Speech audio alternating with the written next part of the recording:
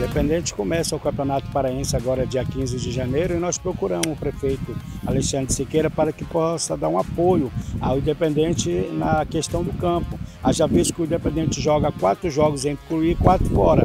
Prontamente ele atendeu, chamou o engenheiro Carlos e estamos trabalhando aqui no Navegantão para que possa ser é, liberado o estádio para que o torcedor de Tucuruí possa dar o apoio para o nosso independente que vai representar a cidade de Tucuruí.